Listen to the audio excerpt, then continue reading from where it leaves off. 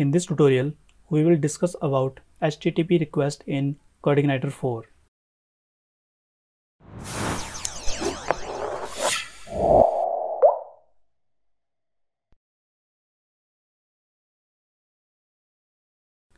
So HTTP request is which is being requested from our browser.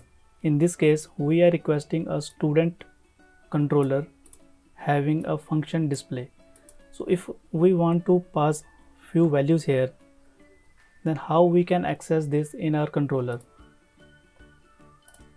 For example if we want to display data from database by student id then we will pass the id in browser request and get that id in our controller and use that id to get data from database and display on the view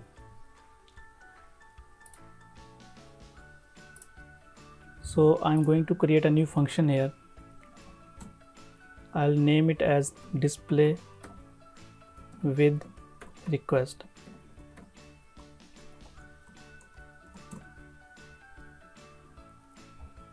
So if I call this function I'll get nothing on the screen because this function is empty. So I'm duplicating this view and I'll name it as student2.php and I'll remove all the code from here. And load a student.php in our controller. So return view from here.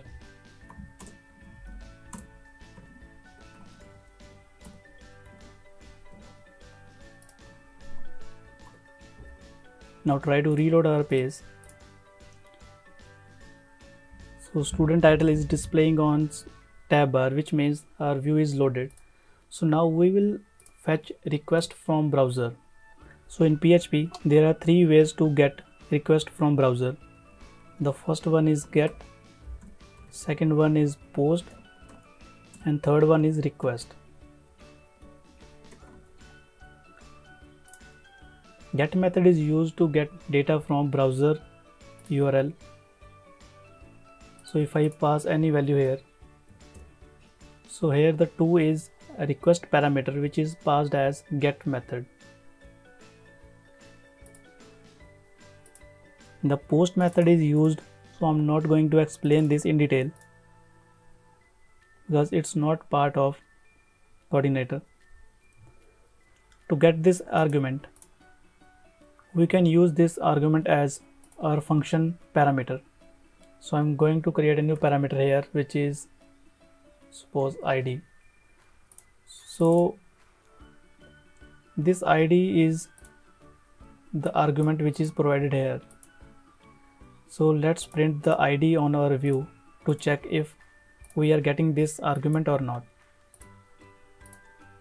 So here I'm passing an array. And I'm passing variable name as id and our id which we are getting from the function parameter. Now inside the view let's print it on the screen. So I'm printing it in h2 tag.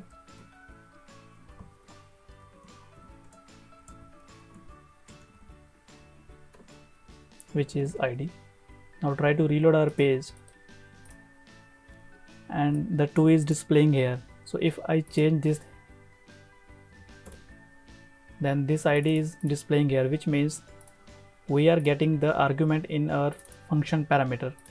So we can use this anywhere in our controller.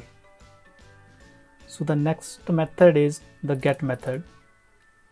To get the variables as a get query strings to pass query string in our URL, we will use the question mark our parameter name. Suppose name is equals to Bhuvaneshwar.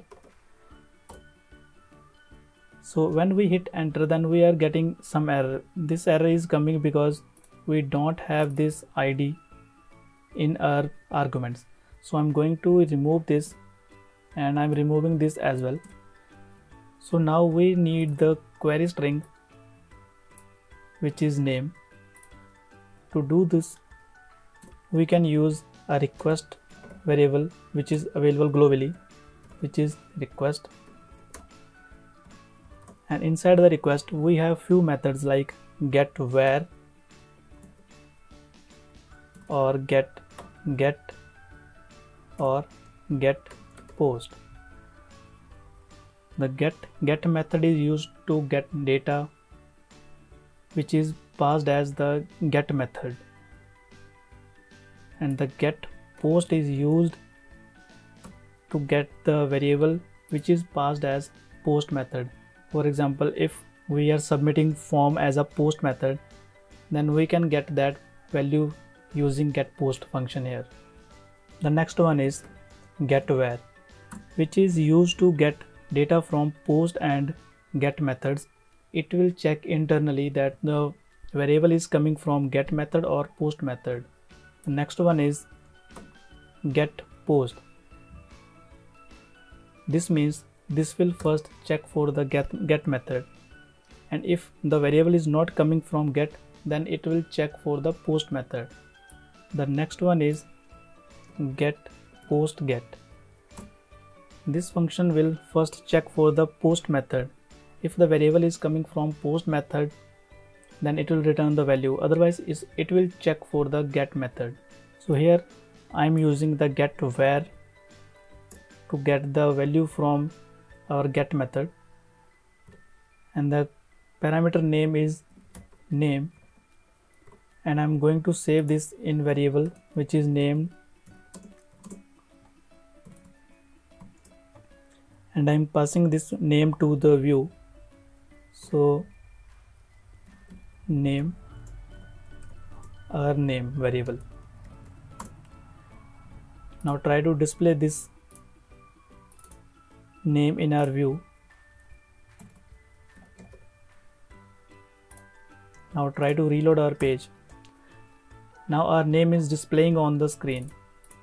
So we can pass multiple parameters here like age is equal to 29 and we can fetch that age here.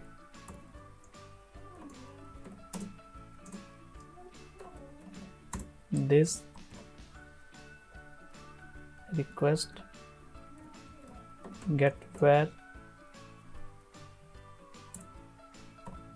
age.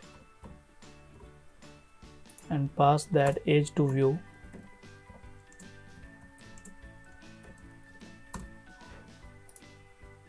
and print the age here now reload our page. And now our age is also displaying on the screen. If we do the same with the get method get get then we'll get the same result. But if I get this age as a post method get post. And now try to reload our page.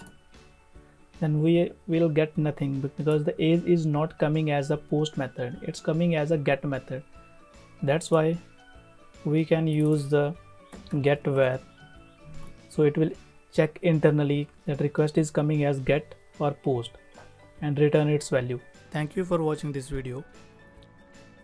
Please subscribe to my channel and share with your friends as well so i can create more valuable content for you.